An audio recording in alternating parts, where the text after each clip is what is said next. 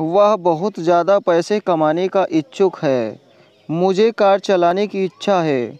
क्या तुम्हारी अंग्रेज़ी बोलने की इच्छा है? नमस्कार दोस्तों, आज मैं आपको सिखाऊँगा कि इस प्रकार की सेंटेंस इंग्लिश में कैसे बोलें। तो ऐसे वाक्यों को इंग्लिश में बोलने के लिए इस स्ट्रक्चर का यूज़ करते हैं। स्ट्रक्चर अपना इस प्रकार से हो जाएगा।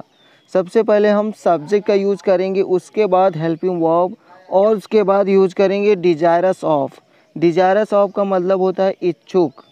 उसके बाद ऑब्जेक्ट का यूज़ करेंगे। यदि ऑब्जेक्ट ना हो, कोई वर्ब हो तो वर्ब में आईएनजी यूज़ करेंगे।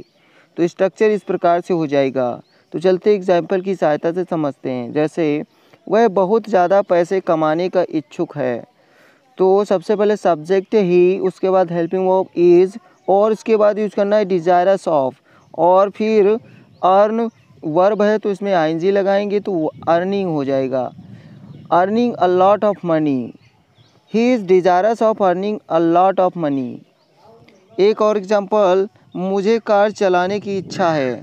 I am desirous of driving a car I am desirous of driving a car एक और एग्जांपल क्या तुम्हारी अंग्रेज़ी बोलने की इच्छा है?